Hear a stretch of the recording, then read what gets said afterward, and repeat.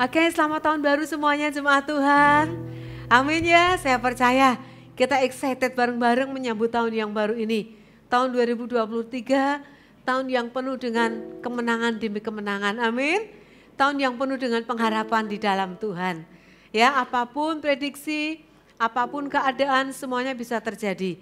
Tapi satu hal, berjalan di dalam Tuhan itu merupakan kekuatan dan kemenangan buat kita. Dan itu yang kita perlukan. Amin saudara. Karena itu pagi hari ini mengawali tahun 2023 kita akan belajar bersama-sama berjalan bersama dengan Tuhan. Amin. Ya mengawali segala sesuatu di dalam Tuhan, berjalan bersama dengan Tuhan. Dan saya percaya finishnya pun juga bersama dengan Tuhan. Amin. Nah pagi hari ini kita akan belajar dari satu tokoh yaitu Nehemia. Ya saya percaya Nehemia ini sudah bukan asing lagi buat kita. Apalagi kalau Bapak Ibu Saudara ya hari-hari ini mengikuti I Love My Bible, masih saudara sampai hari ini ya I Love My Bible kita berapa waktu yang lalu itu berbicara tentang uh, kitab Nehemia. Dan saya sangat-sangat diberkati. Ya berulang kali membaca kitab ini, tapi terus pewahyuan yang baru itu senantiasa ada. Begitulah saudara firman Tuhan. Setiap firman yang keluar dari mulut Allah, setiap kita membacanya, mungkin Bapak sudah berkali-kali membacanya, tapi firman itu akan mendatangkan pewahyuan yang terus baru buat kita. Ya, dan pagi hari ini kita akan belajar dari Nehemia. Ya ketika dia berjalan bersama dengan Tuhan, ada kekuatan yang dia dapatkan, ada pencapaian yang dia dapatkan seiring berjalan bersama dengan Tuhan. Ya kita akan melihat yang pertama, kekuatan dan pencapaian apa yang didapatkan Nehemia dan yang seharusnya ada di dalam diri kita. Yang pertama adalah menjadi seorang pribadi yang bergaul karib dengan Tuhan. Yang menjadi seorang pribadi yang bergaul, bergaul karib dengan Tuhan.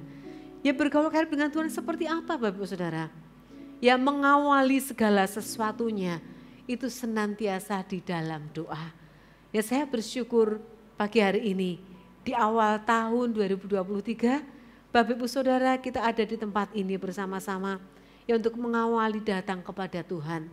Ya saya percaya ini menjadi titik yang awal, titik yang luar biasa di mana Tuhan mendasari memberikan fondasi buat kita untuk kita take off di tahun 2023 dengan apa? Dengan kekuatan yang luar biasa dari Tuhan. Amin saudara. Nah mengawali segala sesuatu dengan doa dan senantiasa melibatkan Tuhan dalam setiap kehidupan, inilah menjadi kekuatan buat kita. Dan itulah yang menjadi kekuatan buat Nehemia. Nah saudara, kalau kita belajar dari Nehemia, ya seharusnya Nehemia ini bersama-sama dengan sebagian orang Israel, mereka ini dari Yerusalem, mereka dibuang ke, ke Babel. Nah tetapi dari sebagian besar orang yang dibuang ke Babel, Nehemia ini beroleh kasih karunia Tuhan. Ya, dia ada di istana raja untuk bekerja kepada raja. Dan pekerjaannya itu bukan pekerjaan yang biasa-biasa saja saudara. Tapi dia ini mendapatkan suatu posisi yang luar biasa dia menjadi juru minuman raja. Nah juru minuman raja ini bukan orang sembarangan saudara. Orang kepercayaan. Kenapa? Karena bisa dikatakan hidup mati raja dari apa yang diminum oleh raja itu ada di tangan Nehemia. Kalau racun berarti matilah. Tapi kalau itu berkat berarti ini menjadi kesukaan bagi raja. Nah ini yang dialami oleh Nehemia. Ya di tengah-tengah dia mengalami pembuangan tapi di situlah Tuhan mengangkat dia. Nah kenapa kok dia bisa mengalami seperti hal ini? Bahkan dalam perjalanan hidupnya, dia ini mengalami sesuatu yang luar biasa. Kasih karunia demi kasih karunia menyertai hidupnya. Nah ini yang mau kita belajar. Dan ini yang mau untuk kita alami dalam hidup kita saudara. Nah kita lihat bersama-sama. Nah sebagai juru minum raja, kemudian dia nanti kemudian Tuhan izinkan dia kembali ke Yerusalem membangun uh, tembok yang ada di Yerusalem dan Tuhan angkat dia menjadi bupati yang ada di Yerusalem. Ini terus dalam perjalanan kehidupannya. Dia berjalan dengan Tuhan seiring dia mengalami peninggian yang dari Tuhan, tapi seiring juga setiap tantangan proses harus dia hadapi. Demikian juga dengan proses kehidupan Bapak Ibu Saudara. Ya hidup kita ini ada musimnya Bapak Ibu. Benar ya? Ada musim di mana kita ini menabur, menuai, ada musim membajak, ya ada musim di mana dalam satu pergumulan, tapi percayalah di setiap musim yang Bapak Ibu jalani itu ada Tuhan bersama dengan Bapak Ibu. Dan di setiap musim hidupmu, mau apa pun musimnya, tetaplah pastikan bahwa engkau bertumbuh di dalam kasih karunia Tuhan. Dan setiap musim dalam hidupmu, itu ada batasnya, ada expirednya. Artinya apa? Setiap musim itu akan silih berganti. Dan di situlah Tuhan berperkara. Ya, nah kita melihat bersama-sama di tahun 2023 ini, ya kita mengawali bersama-sama. Ya izinkan untuk Tuhan itu memimpin setiap langkah hidupmu. Itulah kerinduan hati Tuhan. Ya kalau Tuhan bisa dikatakan dengan bahasa sehari-hari dengan kita, nak ayo toh berjalan dengan Bapa, ayo toh berjalan dengan aku. Nah sekarang tinggal bagaimana respon kita meresponi kerinduan hati Tuhan. Tuhan aku mau berjalan bersama denganmu. Nah saudara, berjalan dengan Tuhan diawali dengan hidup doa kita di awal tahun ini, yuk bersama-sama bangun mesbah doamu. Amin, yuk katakan bersama-sama mesbah doa. Bangun mesbah doamu. Karena doa kita itulah menjadi sumber kekuatan buat hidup kita. Kalau Bapak Saudara secara jasmani, Bapak Saudara membutuhkan makanan, minuman supaya tubuhmu itu sehat, makan minuman yang sehat, supaya tubuhmu sehat, tubuhmu kuat dan bertumbuh Demikian juga dengan kerohanianmu. Ya dari mana engkau mendapatkan? Di dalam setiap doamu, di situlah engkau sedang membangun kekuatan imanmu. Kalau imanmu kuat, spiritmu kuat, ini akan berdampak ke seluruh area kehidupanmu. Ke jasmanimu, ke pekerjaanmu, ke apa pun seluruh area hidupmu. Ya karena itu saudara, pastikan Ya, jadikan doa ini menjadi suatu kebutuhan di dalam hidupmu. Artinya kebutuhan itu ini, kalau aku tidak makan, tidak minum, lama-kelamaan tubuhku akan menjadi lemas, bahkan bisa mati. Nah sama dengan kehidupan doamu. Jika menjadi sebuah kebutuhan, aku harus mencari Tuhan. Aku harus berdoa, karena ini loh kekuatanku. Nah saudara, jadikan doa yaitu menjadi suatu kesukaan di dalam hidupmu. Amin. Jadikan suatu kesukaan. Kalau engkau suka, engkau akan melakukan, engkau akan mencarinya. Benar saudara? Nah, tidak cukup jadikan sebuah kesukaan. Tapi jadikan doa itu menjadi suatu kesukaan, kebutuhan, kesukaan yang didisiplin. Karena kalau engkau bisa mendisiplin diri, engkau punya waktu-waktu khusus di mana engkau mencari Tuhan di mana dalam doamu engkau bisa menyembah Tuhan. Engkau bisa memuji Tuhan. Engkau bisa mengadu. Engkau bisa mengeluhkan. Engkau bisa meminta sesuatu. Engkau bisa mengharapkan sesuatu. Bahkan di situ juga engkau bisa mendapatkan sesuatu dari Tuhan. Tuhan berbicara kepadamu di dalam setiap doamu. Nah saudara, kita belajar bersama-sama dari Nehemia. Bagaimana dia berjalan membangun kehidupan doanya. Nah di Nehemia pasal yang pertama itu menceritakan bagaimana beban hati Nehemia. Ya, dia tahu keadaan bangsanya yang ada di Yerusalem yang masih tertinggal, mereka dalam keadaan tercela. Bahkan orang-orang buangan yang sudah kembali ke Yerusalem di tahap pertama yang bersama dengan Esra sebelumnya, mereka ada di Yerusalem, mereka dalam keadaan kesusahan besar. Ya mereka mengalami kesusahan, mereka mengalami ancaman yang luar biasa, tembok belum dibangun, tembok ini jadi benteng pertahanan, benteng kekuatan bagi mereka. Nah, dalam keadaan sebetulnya yang mengalami kesusahan besar itu bukan Nehemia, dia enak loh di Persia. Dia ada di istana raja, tapi dia ada satu beban yang luar biasa di hatinya melihat bangsanya mengalami keadaan yang seperti itu. Nah, dalam keadaan yang seperti ini, dia berdoa, dia memohon belas kasihan kepada Tuhan. Kita lihat di Nehemia pasal 1 ayat 6 pasal pasal 1 ayat 4 sampai 6 dan ayat 11. Kita akan baca, kita akan lihat ayat demi ayat ya. Oke, kita baca bersama. Ketika aku dengar berita ini, duduklah aku menangis dan berkabung selama beberapa hari. Aku berpuasa dan berdoa kehadirat Allah semesta langit. Kataku, ya Tuhan Allah semesta langit, Allah yang maha besar dan dahsyat, yang berpegang pada perjanjian dan kasih setianya terhadap orang-orang yang kasih kepadanya dan tetap mengikuti perintah-perintahnya. Berilah telingamu dan bukalah matamu dan dengarkanlah doa hambamu yang sekarang kupanjatkan kehadiratmu siang dan malam. Bagi orang Israel, hamba-hambamu itu, dengan mengaku segala dosa, dosa yang kami orang Israel telah lakukan di hadapanmu, juga dengan kaum keluargaku telah berbuat dosa.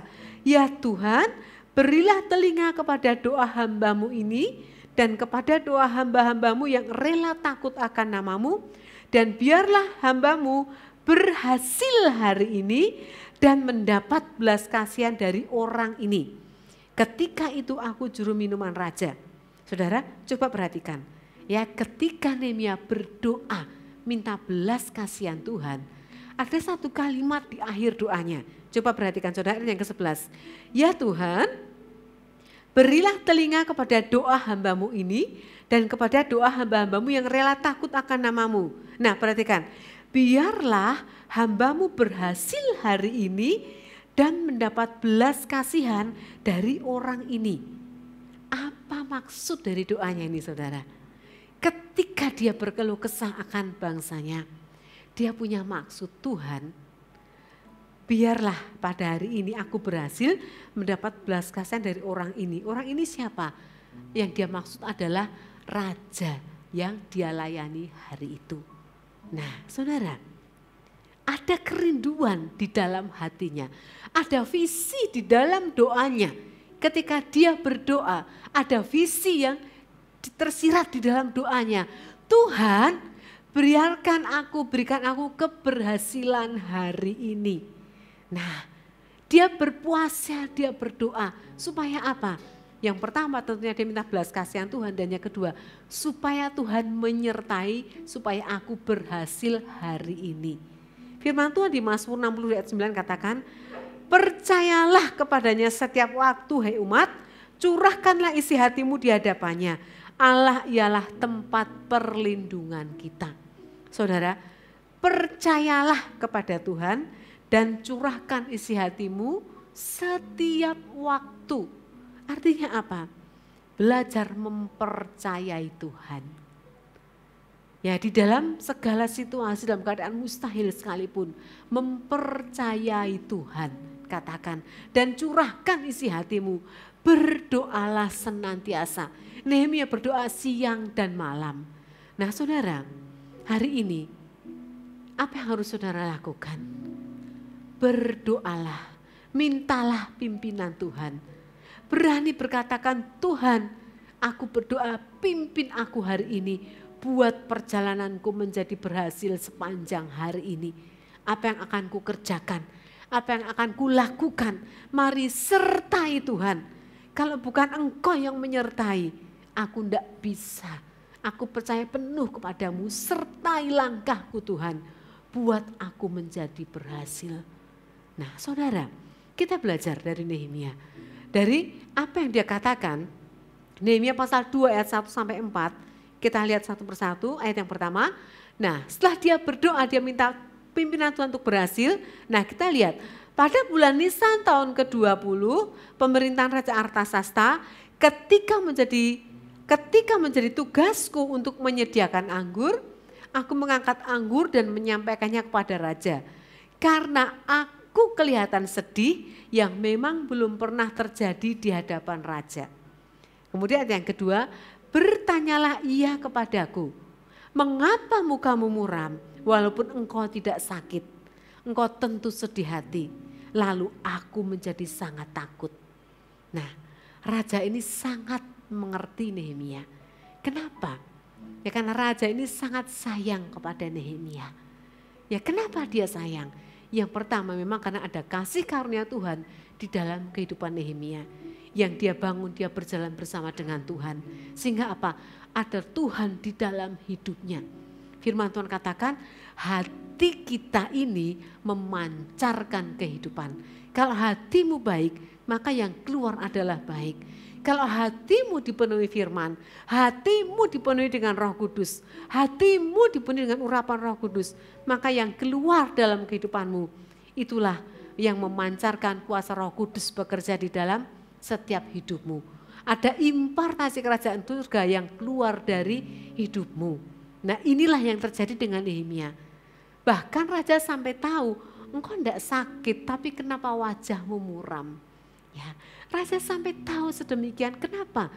Karena ada penyertaan Tuhan dalam hidup Nehemia dan perhatikan bahwa Nehemia ini cakap di dalam pekerjaannya. Dimulai dengan kasih karunia, tapi dia cakap di dalam pekerjaannya. Dia excellent di dalam pekerjaannya, di dalam apa yang Tuhan percayakan kepadanya. Dia lakukan dengan segenap hati. Sehingga apa? Apa yang dia kerjakan, yang dia lakukan, itu menyukakan tuannya, menyukakan raja. Nah saudara, sikap hatimu itu akan menentukan seberapa tinggi keberhasilanmu. Saya ulang, sikap hatimu itu akan menentukan seberapa tinggi keberhasilanmu. Kenapa? Dimulai dari sikap hati, ya apa yang keluar, yang kita lakukan, kerjakan dengan senap hati, itu akan menentukan progres dalam keberhasilan di dalam kehidupanmu. Apa pun area hidupmu, apa pun pekerjaanmu, apa pun profesimu. Nah, lakukan dengan segenap hati. Nah, di sini yang membuat Nehemia menjadi orang yang cakap. Nah, kemudian apa yang dikatakan eh, Nehemia ayat yang ketiga? Jawabku kepada raja, hiduplah raja untuk selamanya. Bagaimana mukaku tidak akan muram kalau kota tempat pekuburan nenek moyangku telah menjadi reruntuhan dan pintu-pintu gerbangnya habis dimakan api. Saudara, Nehemia adalah orang yang cerdik. Jadilah orang yang cerdik saudara. Seperti Nehemia. Kalau Nehemia menyebut Yerusalem kota kediamanku sudah hangus. Maka tidak akan ada reaksi dari raja. Kenapa? Karena Yerusalem hari itu sudah di blacklist. Kenapa? Karena raja-raja yang ada pada masa sebelum-sebelumnya adalah raja-raja yang jahat terus. Terkenal dengan kejahatannya bangsa ini Nah tetapi Nehemia ini cerdik, dia tidak menyebut nama Yerusalem. Tapi dia sebutkan kota kelahiran, kota pekuburan nenek moyangku. Nah kemudian kata raja yang keempat. Lalu kata raja kepadaku, jadi apa yang kau inginkan? Nah maka aku berdoa kepada Allah semesta langit. Nehemia berdoa last minute itu juga saudara. Ini yang terjadi. Karena dia sudah terpola dia terbiasa dengan hidup doanya. Bukan berarti dia menghadap raja, tiba-tiba dia berlutut, dia berdoa. Tidak saudara, dia berdoa dalam hati. Tuhan, apa aku harus katakan? Bagaimana aku harus berkata-kata supaya tepat tidak membuat raja marah, tapi justru membuat raja bisa terbuka hatinya. Ketika Nehemia berdoa, ya ayat yang kelima, kemudian jawabku kepada raja.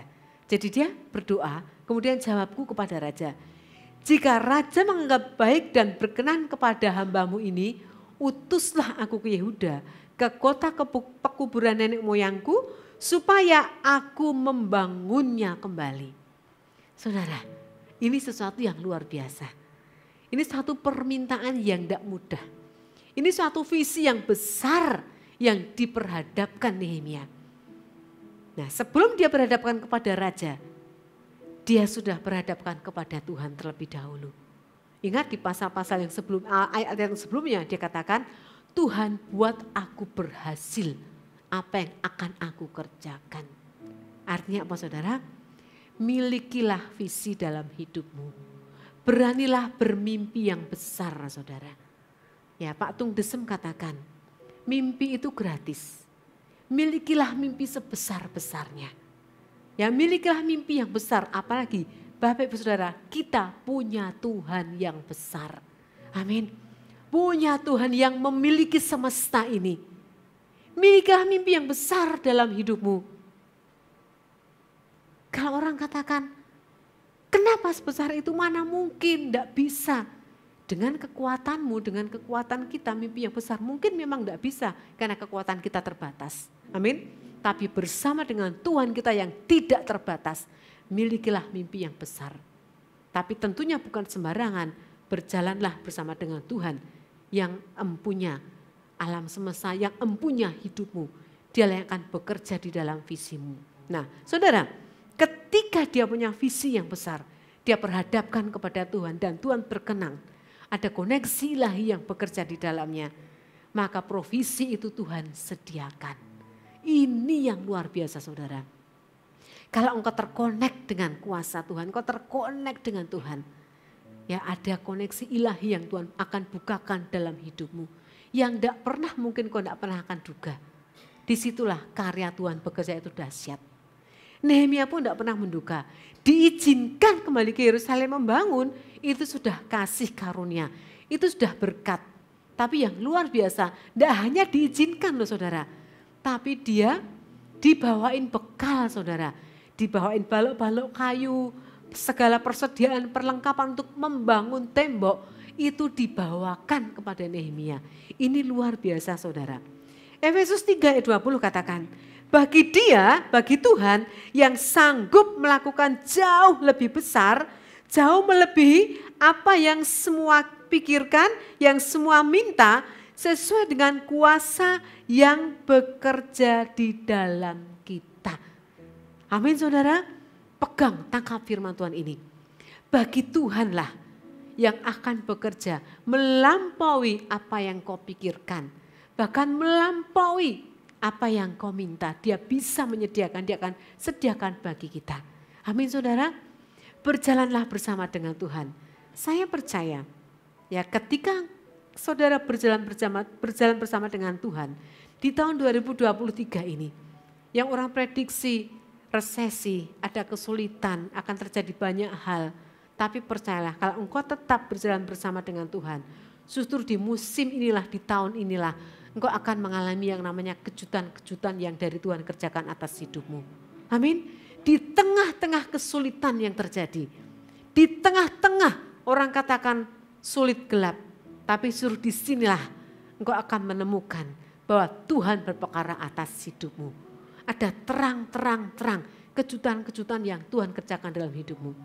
Mungkin orang bisa katakan, ya kebetulan, ya hoki. Tapi di atas semuanya itu tuh Tuhan yang bekerja atas hidupmu. Amin saudara, kalau bukan Tuhan yang bekerja, tidak bisa itu terjadi. Kenapa? Karena kejutan-kejutan, perkara-perkara yang mustahil itu yang Tuhan kerjakan dalam hidupmu. Nah, kita melanjutkan saudara. Nah ketika Nehemia sudah mendapatkan apa yang Tuhan berikan, kerjakan. Nah dia mulai mengerjakan visi yang Tuhan berikan kepadanya. Nah kita belajar. Yang pertama berjalan bersama dengan Tuhan. Yang kedua saudara, jadilah perencana yang cerdas. Penyusun strategi dan penggerak yang cakap. Tidak hanya punya mimpi, tidak hanya punya visi, tapi punya cara untuk mengerjakannya. Dari mana mendapatkannya? Dari sinilah kita membutuhkan hikmat yang daripada Tuhan. Cerdiklah seperti ular, tapi tuluslah seperti merpati. Orang kalau hanya cerdik, ya kecerdikan kalau tidak ada ketulusan akan membuat orang menjadi jahat, menjadi culas. Tapi orang kalau hanya tulus saja, tidak cerdik, dengan mudah orang akan ngerjain dia, akan dibodohin, akan dikerjakan, akan ditipu kanan dan kiri. Karena itu jadilah orang yang cerdik di dalam Tuhan dan tulus di dalam Tuhan. Amin. Kita belajar dari Nehemia.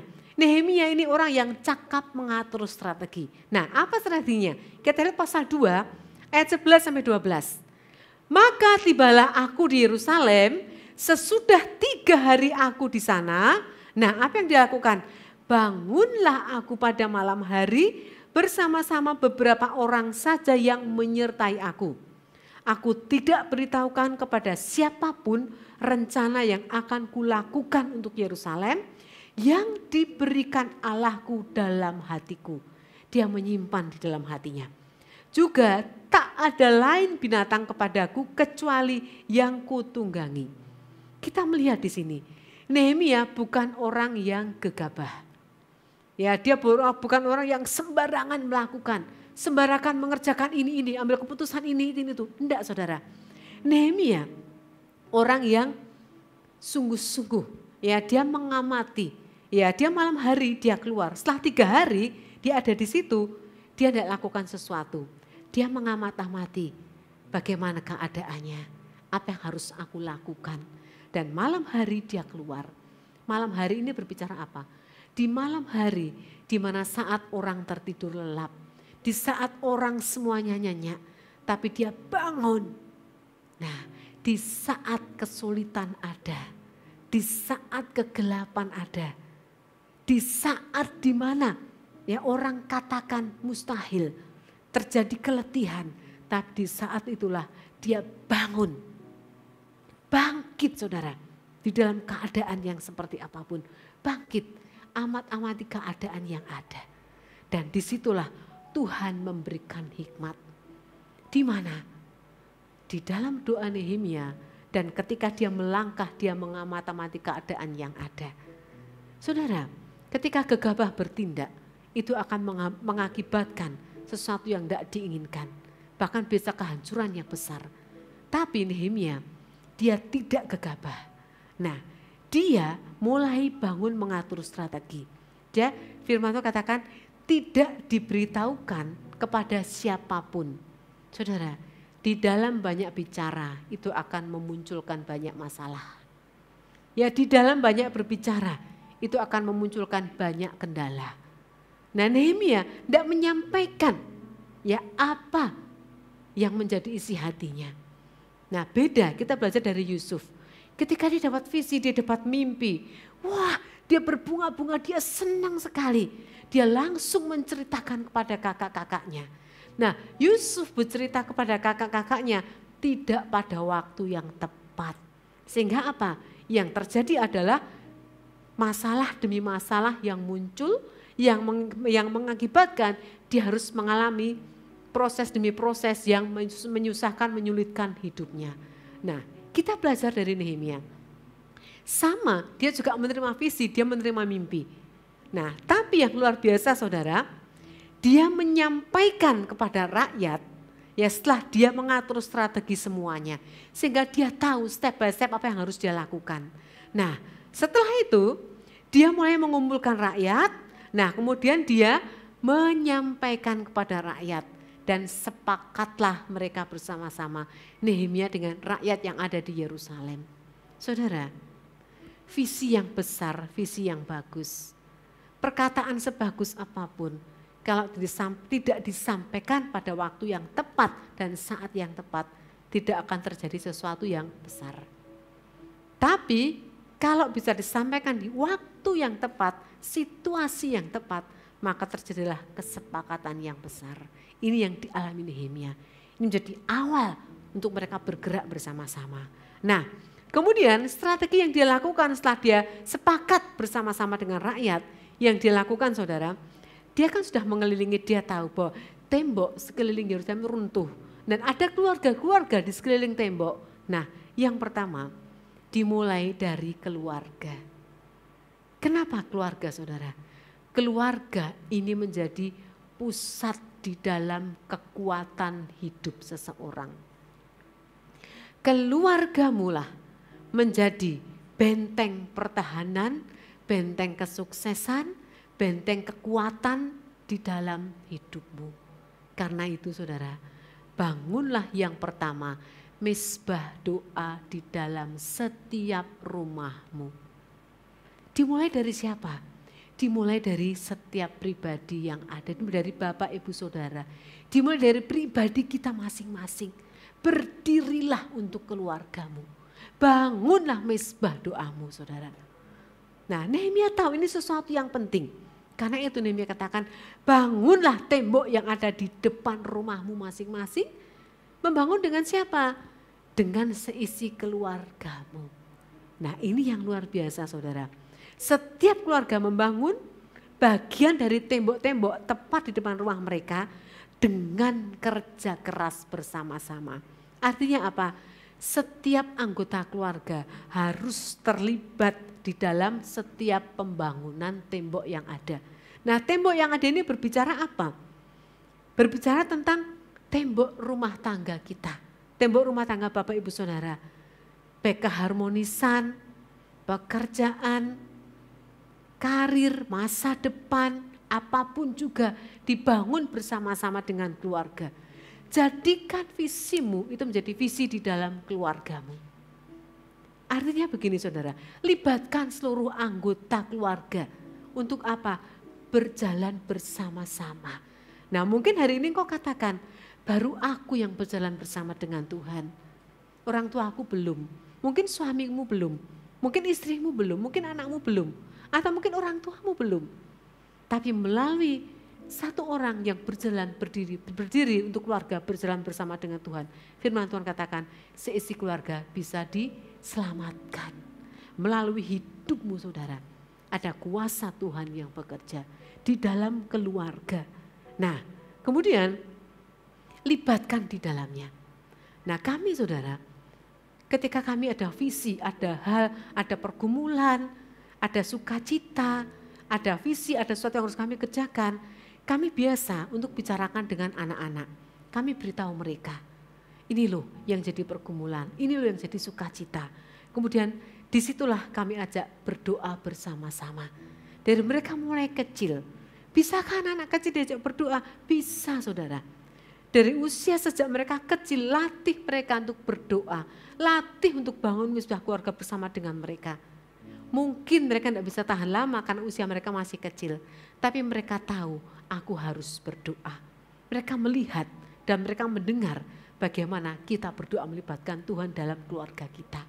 Nah satu hal saudara, Nehemia 4 ayat 13 katakan, maka aku tempatkan rakyat menurut kaum keluarganya dengan pedang, tombak dan panah di bagian-bagian yang paling rendah dari tempat itu di belakang tembok di tempat-tempat yang terbuka. Artinya apa? Di tempat-tempat yang lemah, di tempat-tempat yang rawan, itu perlu waspada dan perlu dilindungi. Nehemia katakan, aku menempatkan pedang tombak, menurut kaum keluarga menempatkan pedang tombak pada bagian yang paling rendah. Artinya apa? Di dalam keluarga kita, ya waspadai, sadari Adakah suatu titik lemah di dalam keluarga kita? Di situlah perlu untuk bersama-sama dibentengi, dikuatkan. Supaya apa? Iblis tidak ambil bagian dari celah yang ada. Supaya celah yang ada itu tertutup dengan rapat. Ya mungkin yang menjadi kelemahan hari ini. Mungkin suamimu, mungkin istrimu, mungkin anakmu, mungkin orang tuamu, mungkin pekerjaanmu.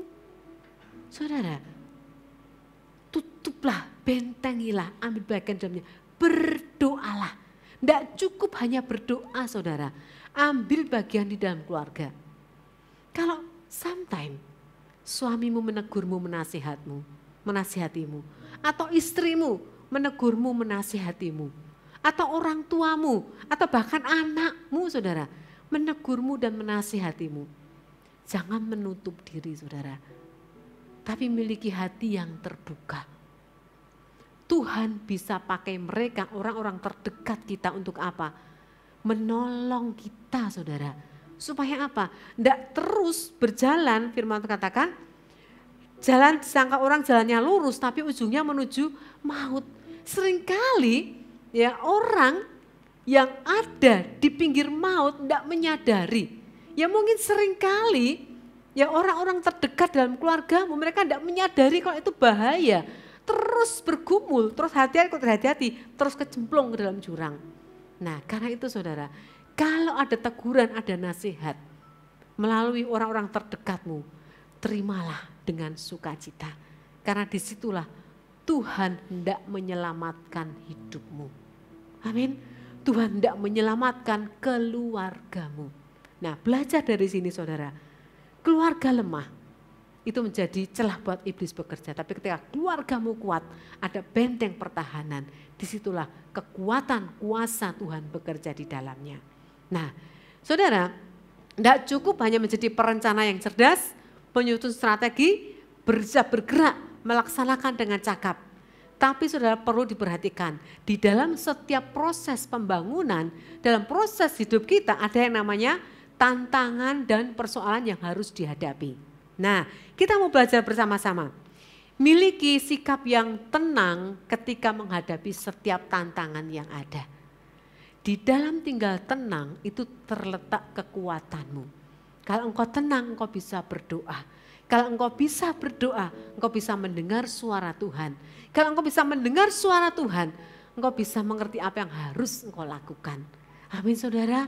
Nah Nehemia katakan ayat 4 ayat 1 sampai 3. Ketika Sanballat mendengar bahwa kami sedang membangun kembali tembok, bangkitlah amarahnya. Dan dia sangat hati. Ia mengolok-olok orang Yahudi dan berkata di depan saudara-saudaranya dan tentara Samaria. Nah ini luar biasa sekali ya. Apa gerangan yang dilakukan orang-orang Yahudi yang lemah ini? Apakah mereka memperkokoh sesuatu? Apakah mereka hendak membawa persembahan? Apakah mereka akan selesai dalam satu hari? Ini olokan yang luar biasa sekali. Apakah mereka akan menghidupkan kembali batu-batu dari timbunan puing yang sudah terbakar habis seperti ini? Kalau bisa dikatakan mustahil, tidak bisa. Nah lalu berkatalah Tobia orang Amon itu yang ada di dekatnya.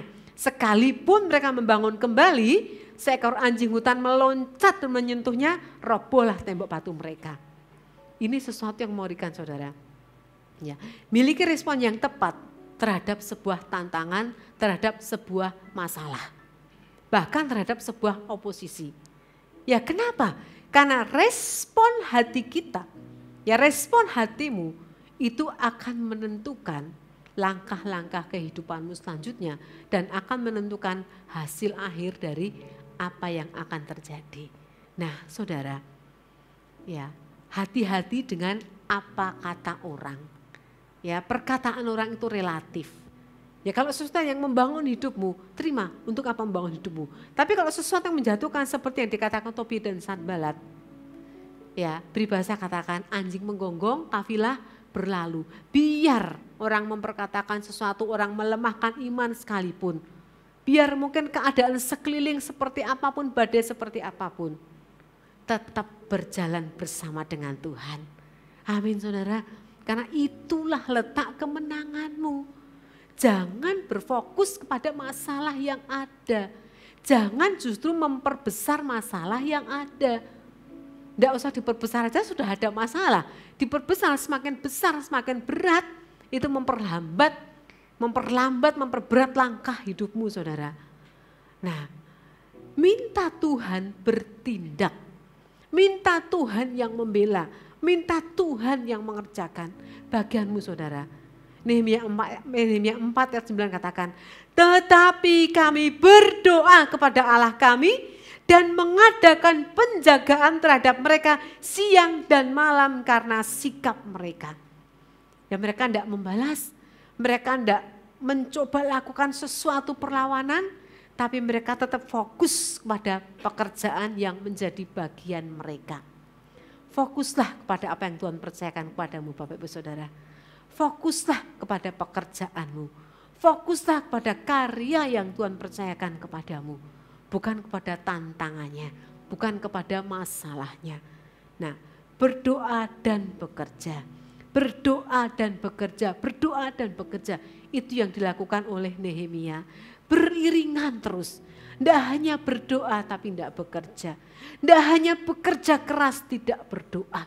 Tapi berdoa dan bekerja. Amin saudara.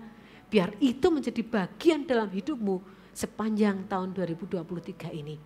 Berjalan bersama dengan Tuhan di dalam doa dan dalam tanggung jawab yang Tuhan percayakan.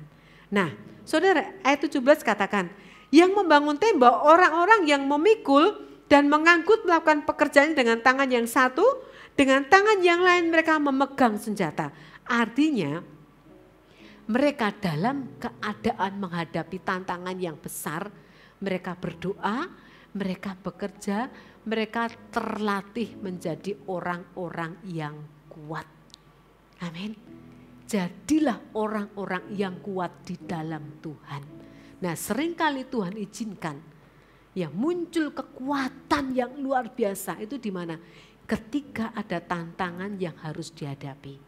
Benar saudara, di situlah engkau meletakkan lutut, di situlah engkau berdoa, di situlah engkau dilatih Tuhan untuk tough, tidak mudah menyerah. Step by step terus kekuatanmu akan semakin bertambah, bertambah bersama dengan Tuhan. Amin saudara, happy ending saudara. Nah akhirnya tembok itu terbangun. Bahkan sampai akhir tembok terbangun, Nehemia itu berusaha untuk dibunuh oleh Tobia dan Sanballat dan kawan-kawan. Bahkan difitnah dengan berbagai macam cara. Tapi satu hal yang Nehemia lakukan, dia tidak membela diri, dia tidak mencoba mengklarifikasi ke kanan dan ke kiri. Tapi terus dia fokus pada pekerjaannya dan dia fokus kepada Tuhan saudara. Ketika engkau berusaha ya untuk membela diri, membenarkan diri kanan kiri, berusaha untuk mengklarifikasi kanan kiri, engkau akan terbuang banyak waktumu saudara, banyak energimu, banyak konsentrasimu. Letakkan itu semua. Firman Tuhan katakan, biar Tuhan yang bertindak dalam hidupmu. Biar Tuhan yang berperkara dalam kehidupanmu. Bahkan Tuhan pun akan menghalau musuh-musuhmu. Amin saudara. Nah akhirnya yang terjadi pasal 6 ayat 16. Ketika semua musuh kami mendengar hal itu, takutlah semua bangsa sekeliling kami. Mereka sangat kehilangan muka dan menjadi sadar bahwa pekerjaan itu dilaksanakan dengan bantuan Allah kami. 52 hari mereka mengerjakan dan menyelesaikannya di dalam kasih karunia Tuhan. Ini yang luar biasa saudara. Nah saudara, sepanjang tahun 2023 ini Ya, jangan buru-buru bereaksi terhadap masalah tantangan. Tapi yang pertama, berjalanlah bersama dengan Tuhan. Amin. Berjalanlah bersama dengan Tuhan, ambil komitmen itu. Kemudian yang kedua, langkah awal dalam hal apa pun mulailah dengan berdoa. Dan bersyukur saudara di gereja kita. Ya secara korporat, seluruh gereja Mawar Sharon di mana pun berada, tanggal 9 kita akan breakfast kita akan adakan breakfast with God. Ya kita akan doa pagi bersama-sama di gereja ini dari jam 5 sampai jam 6. Ya, kita mulai dari tahun-tahun yang ada. Ya anak-anak sebelum mereka sekolah mereka memakai seragam, kita antusias bersama-sama mengawali tahun ini dengan apa? Kita merendahkan diri berdoa di hadapan Tuhan. Kemudian kita melanjutkan dengan doa puasa raya selama 21 hari. Tujuannya untuk apa saudara? Kita membangun kekuatan kita bersama-sama. Mengawali tahun 2023 ini, kita mau belajar merendahkan diri di hadapan Tuhan. Amin. Kita mau belajar melibatkan Tuhan. Kita mau bangun manusia roh kita yang akan membangun manusia jasmani kita juga. Nah, nanti hari demi hari kita akan ada doa bersama-sama baik secara onsite maupun online nanti akan kita umumkan berikutnya. Tapi yang pasti kita mau berlatih bersama-sama saudara. Kalau saudara berkata, aku tidak terbiasa, aku belum terbiasa berpuasa, aku tidak tahu bagaimana caranya. Kita akan bergerak bersama-sama sehingga kita bisa kuat bersama-sama di dalam Tuhan. Saudara tidak sendiri, kita pikul bersama-sama. Ketika berdoa kita pun berdoa bersama-sama. Ya, nah kemudian yang ketiga, orang-orang yang berada di bawah tuntunan Tuhan akan dapat menyelesaikan tugas yang mustahil sekalipun karena ada Tuhan yang bekerja di dalamnya. Yang keempat, ada dua bagian nyata dan penting dalam hidup kita yaitu berbicara dengan Tuhan dan berjalan bersama dengan Tuhan. Artinya apa? Berdoa dan berjalan dengan Tuhan beriringan bersama-sama. Kemudian saudara, pastikan bahwa keluargamu menjadi benteng di dalam kekuatan hidupmu. Ya kesepakatan di dalam keluarga ketika melihat melibatkan Tuhan di dalamnya akan menghasilkan suatu kekuatan yang besar. Ada dunamos di dalamnya yang tidak bisa terkalahkan oleh apa pun juga. Ya, kemudian yang terakhir Saudara, tantangan bukan menjadi hambatan. Ya, tapi akan menjadikan saudara tangguh. Jadi jangan takut dengan tantangan apa pun. Ya, tetap tenang karena di situlah terletak kekuatan kita. Tenang di dalam hadirat Tuhan. Amin. Yuk kita berdiri bersama-sama ya. Kita mau menyembah Tuhan bersama-sama. Kita minta roh kudus bekerja di dalam diri kita.